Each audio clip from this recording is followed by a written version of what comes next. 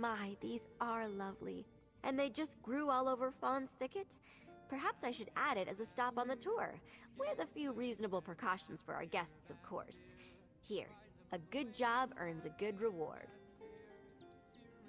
You're so enthusiastic!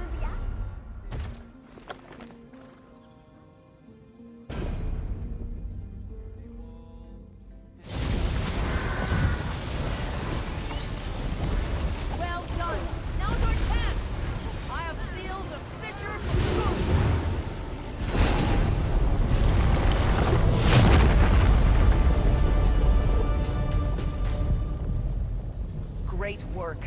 But questions still remain. I shall return to my order and report all that has happened. Until we meet again.